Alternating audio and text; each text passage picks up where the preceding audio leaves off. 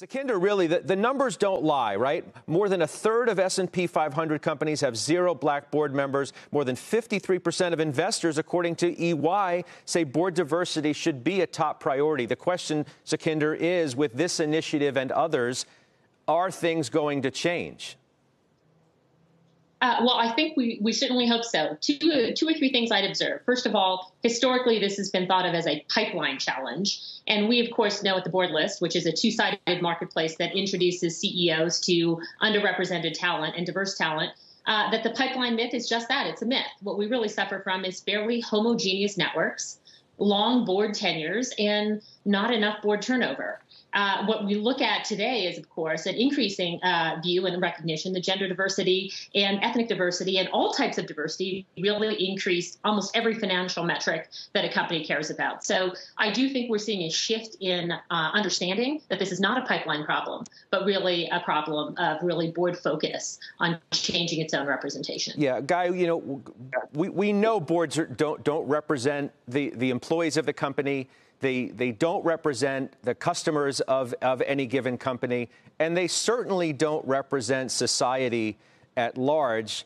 The issue is how quickly you can begin to change things. This is a good initiative to sort of kick things off.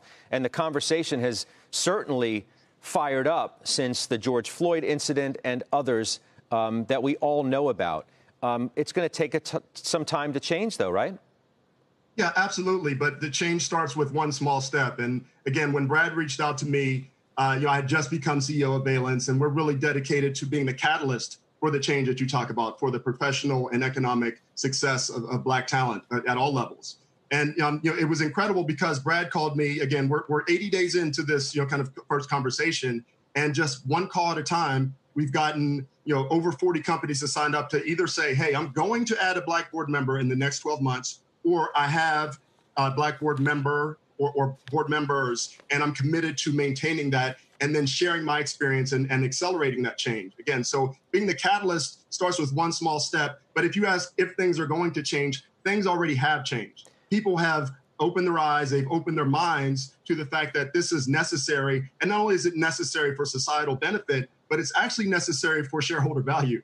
And so when I was at Starbucks, I saw this happen. I saw it with my own eyes, walking into the boardroom with Mellody Hobson and Olden Lee from Pepsi and seeing what happened as a result of their involvement in Howard Schultz's dedication to this issue. Sukhinder, there are companies, and many of them, that, that have at least one black director. I'm looking at the list because they're charter pledge partners of yours with the, the, the boardroom challenge. Uh, WW, the former Weight Watchers, United Airlines will speak with Oscar Munoz in just a bit, Merck and the NASDAQ, the New York Stock Exchange, Nordstrom and Okta and you know, Verizon, companies that are speaking out today on behalf of, of this initiative. But are you finding, Sukhinder, that there are companies that, that want to do the right thing, but they want to do it on their own terms and timeline?